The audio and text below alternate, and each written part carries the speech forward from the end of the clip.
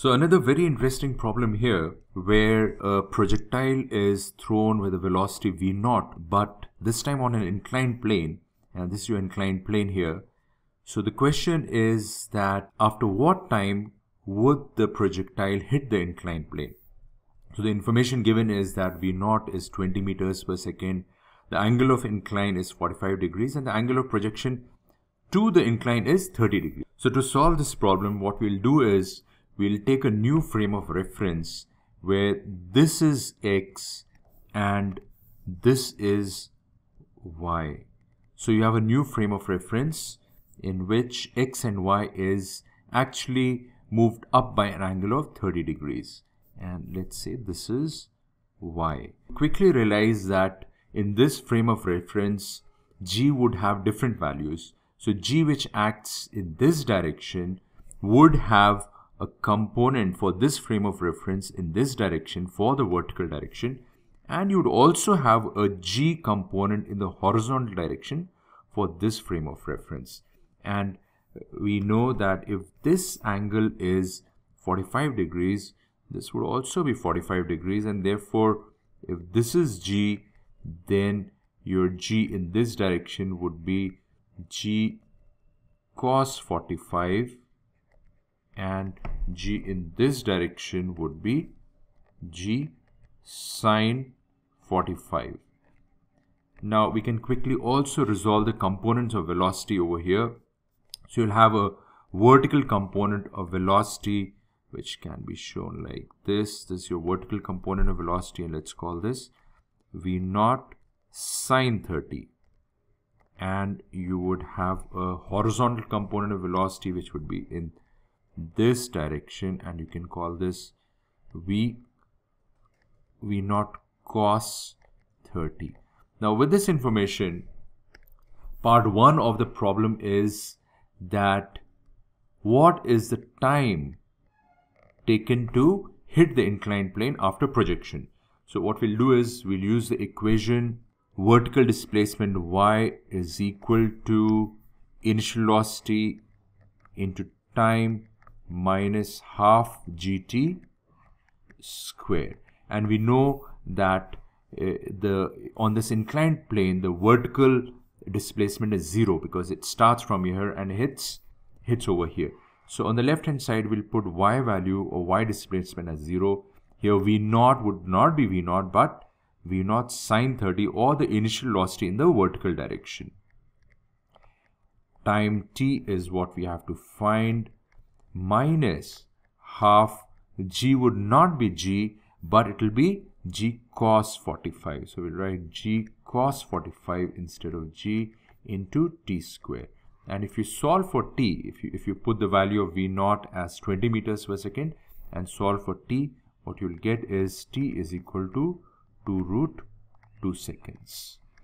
Now the second part of the problem is what is the range on the inclined plane.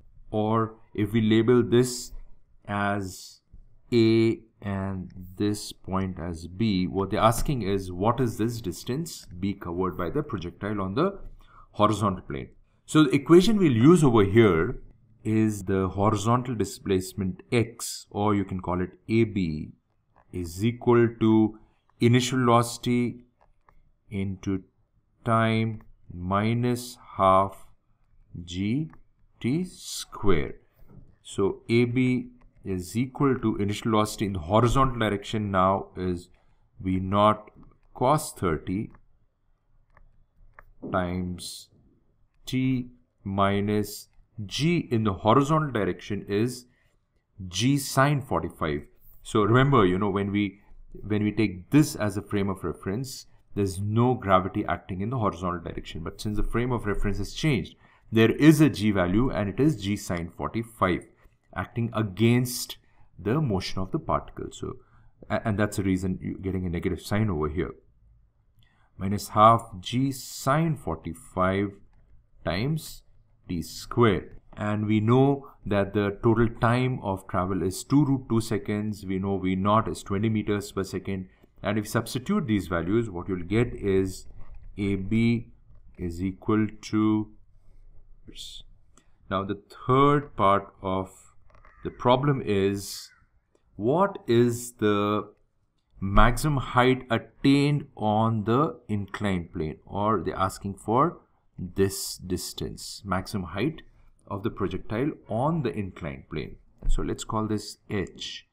And we know that when it attains maximum height the projectile attains maximum height the velocity in the vertical direction ceases it is zero because if it was there it would have gone up further.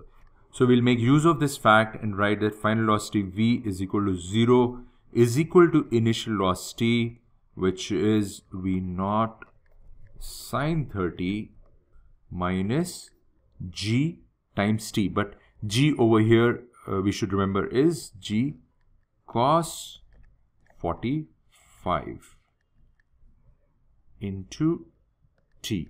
So to attain this maximum height time t is equal to we know v naught sine 30 upon g cos 45 and if we substitute the value of v naught what you'll get is t equals root 2 seconds. So it takes root 2 seconds to attain this maximum height so now we'll make use of the equation displacement in the vertical direction h is equal to initial velocity which is v naught sine 30 into time of travel minus half gt square. Remember g here is g cos 45 into t square and if we substitute the value of t as root 2 seconds what you'll get is h is equal to 5 root 2 meters.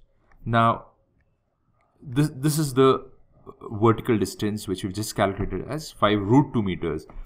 So you could also be asked what is this distance? Let's call this h dash. It, it should be quite simple because if this is 45 degrees, this would also be 45 degrees, in which case this is a simple triangle and you can say that cos 45 is equal to base. Base here is h upon the hypotenuse. That that's the distance you want to find which is h dash.